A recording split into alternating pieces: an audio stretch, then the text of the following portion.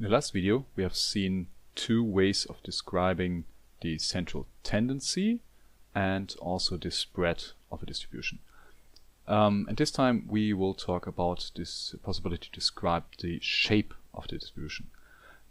Um, as you can see, um, we have either the situation where we have a um, strong slope left of uh, the distribution and a long tail, which is po called positive skew.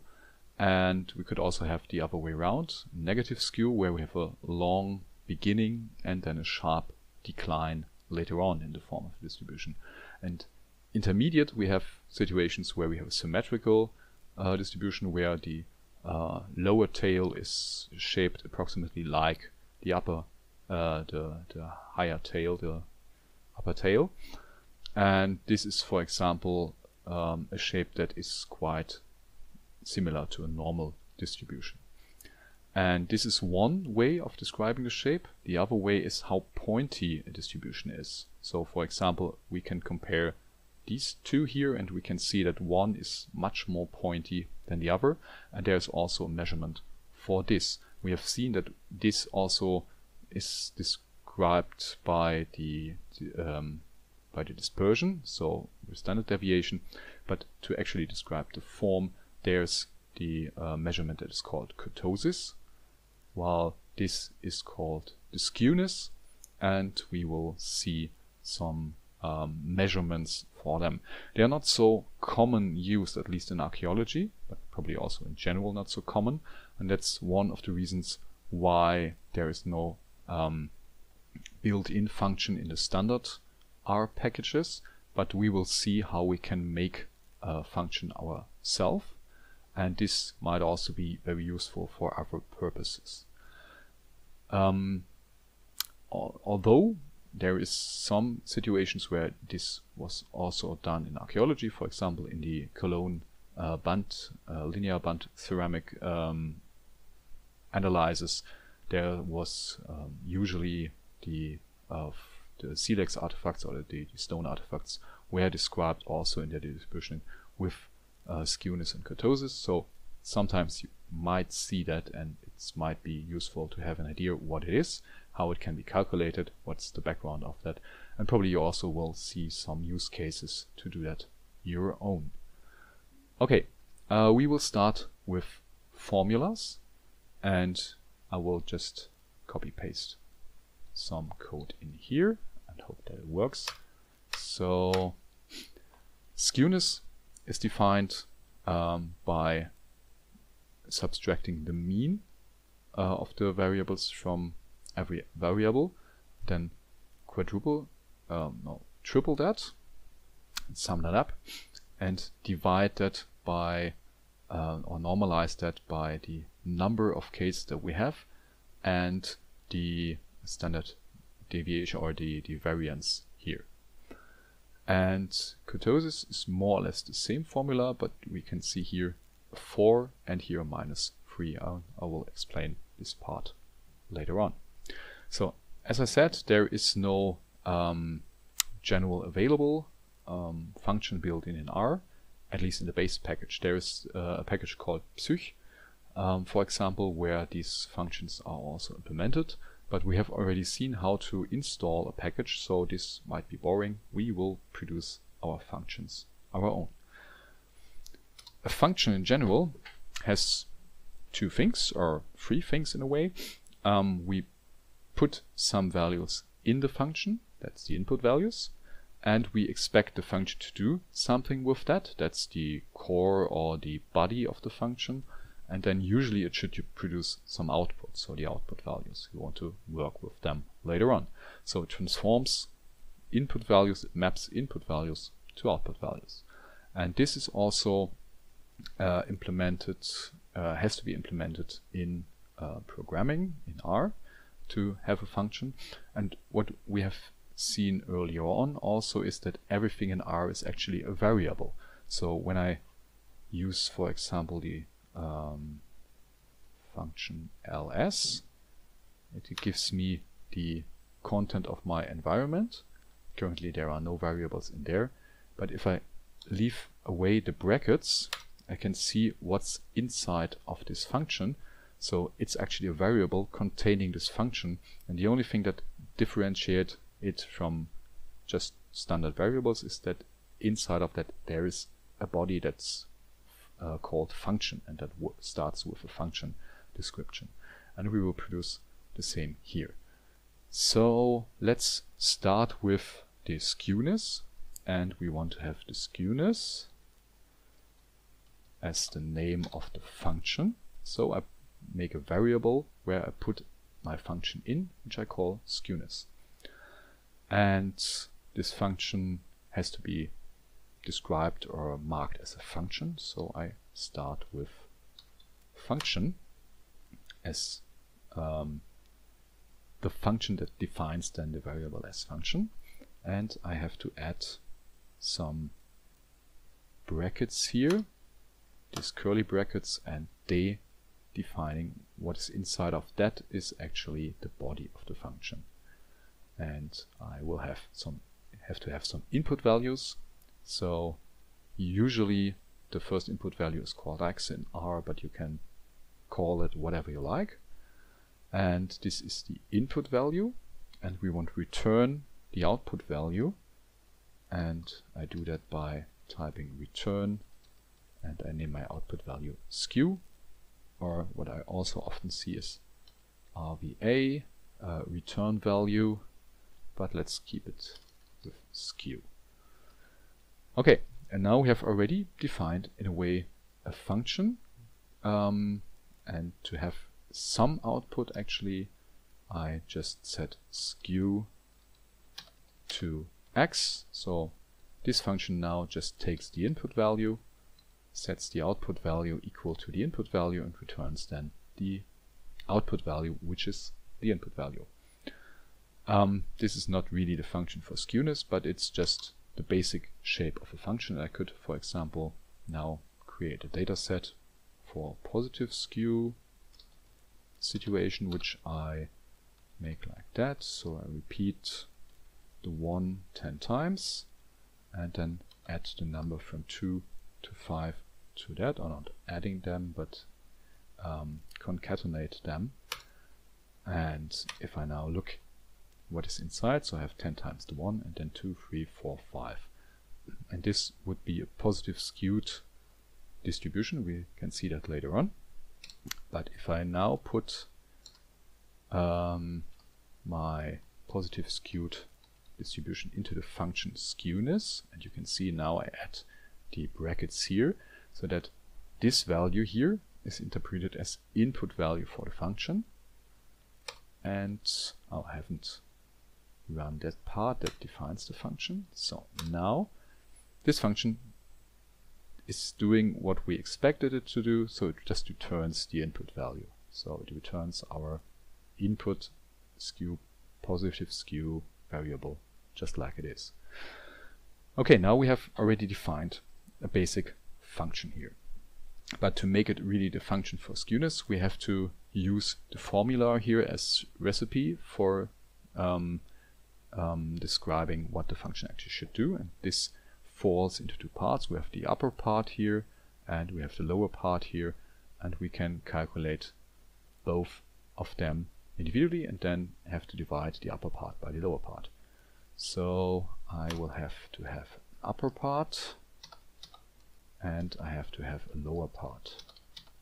And skew should be actually the upper divided by the lower part. The upper part is we have to subtract the mean from every individual x and then uh, triple that and make the sum of that.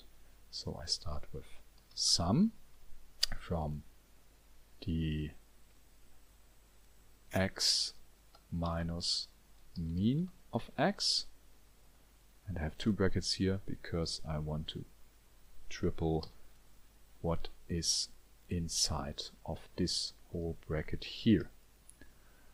So this is the upper part, the sum of x minus x mean of x to the 3.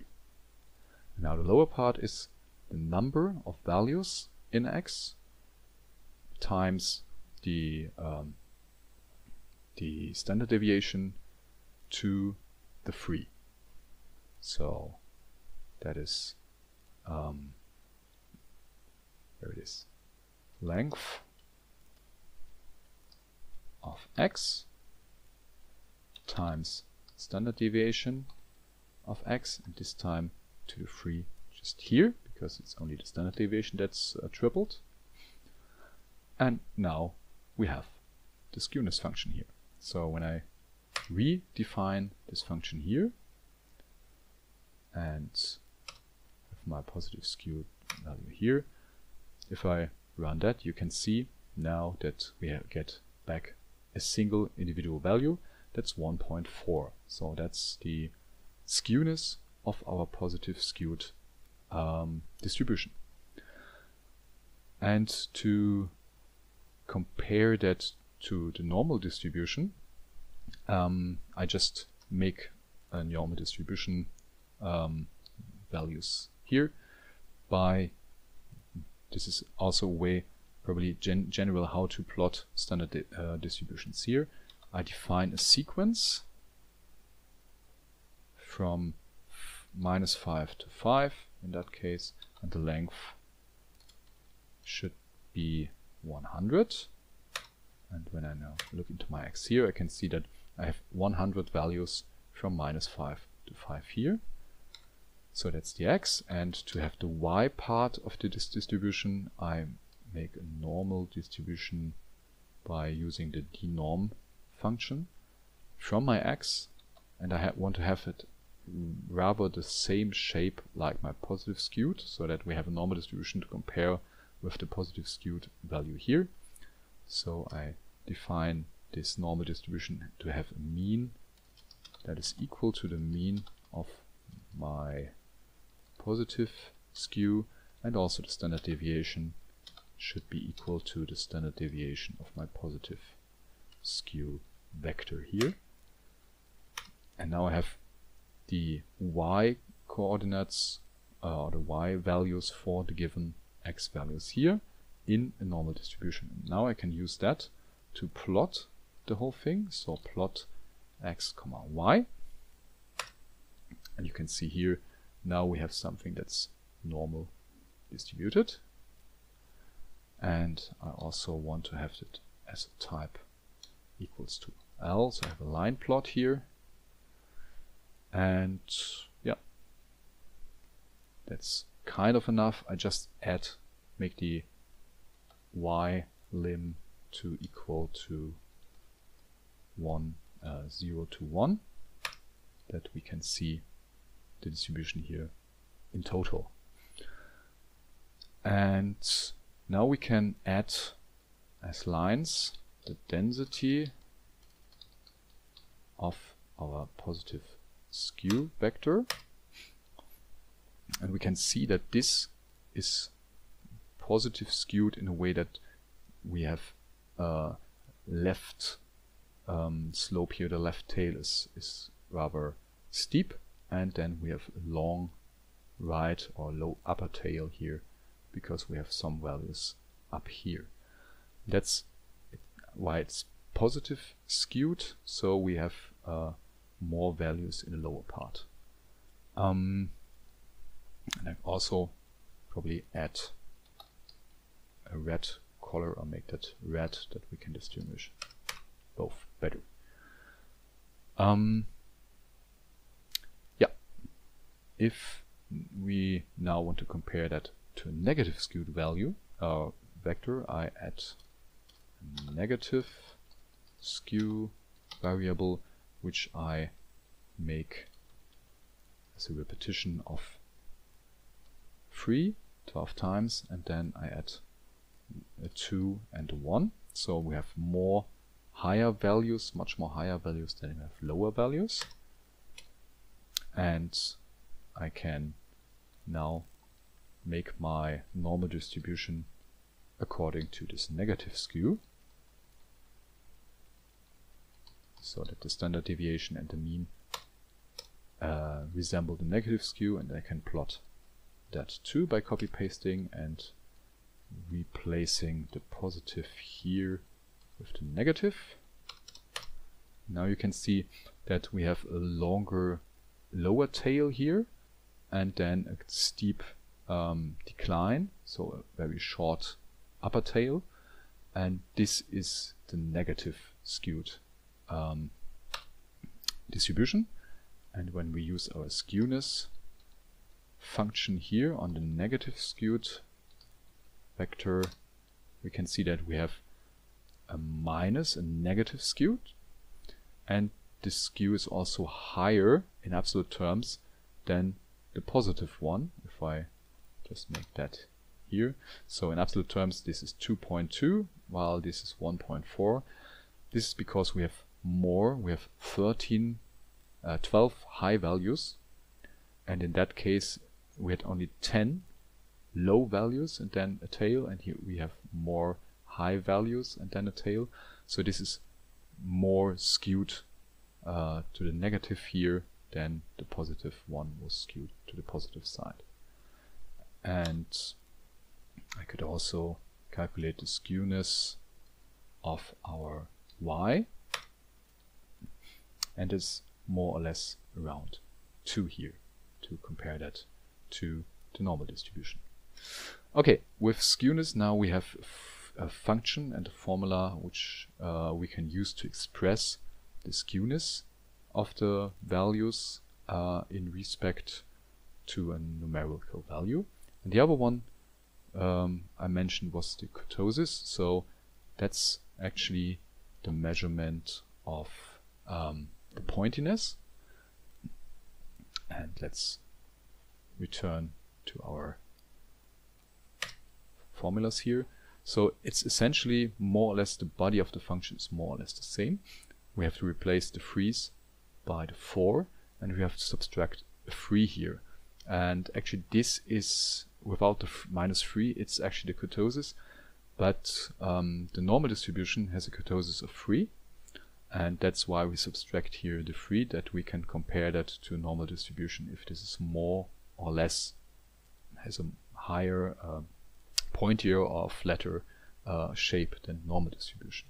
That's why the minus 3 is here. Okay. As I said it's more or less the same functional body so I make now a function that I call kurtosis and I will have kurt as return value and I have to replace some freeze here by a 4 and I have subtract from the uh, total result minus 3 and now we have our function for kurtosis. Here now we can create some a flat or a pointy distribution to calculate the kurtosis of that. So starting with the flat one, I make that one, two, three, four, four, five, six, seven. So that's a rather flat distribution. If I plot that, um, or let's compare that directly to normal distribution. So this should have this normal distribution should have the same mean and standard deviation like our flat distribution. Looks like that. And if I plot the flat distribution, there you can see that is not as pointy as the normal distribution here.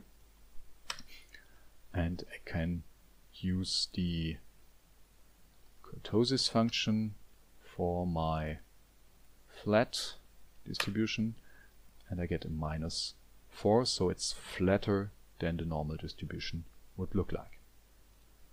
And let's make a pointy distribution. That should look like, let's say 1 to 3. Then we repeat the 4 16 times and then it's um, 5 to 7 and the same again here. So the normal distribution now should have the same mean and standard deviation like the pointy distribution. And you can see that's point more pointy than the normal distribution. And consequently if we calculate the kurtosis of that. Pointy one.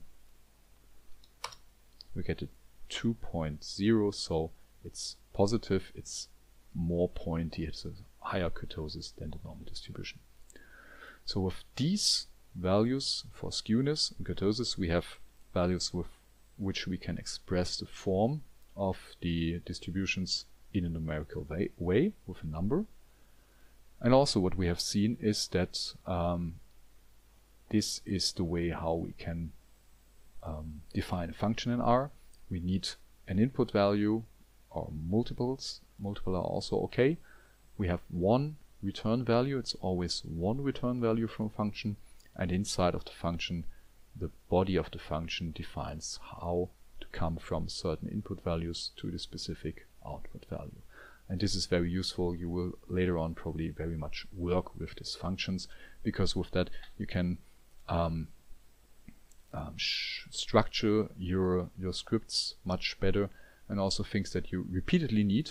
You can build up some functions for that you, so that you don't have to write all this code all the time, but you can be sure that uh, if you use just this function, the code is um, produced or is, is used in a way you have defined it.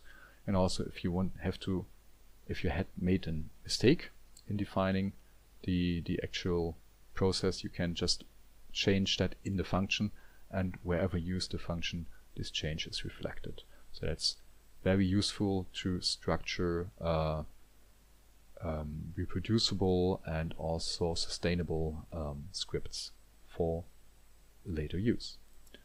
Okay, this was it for today and next time we will talk we will start with talking about statistical tests.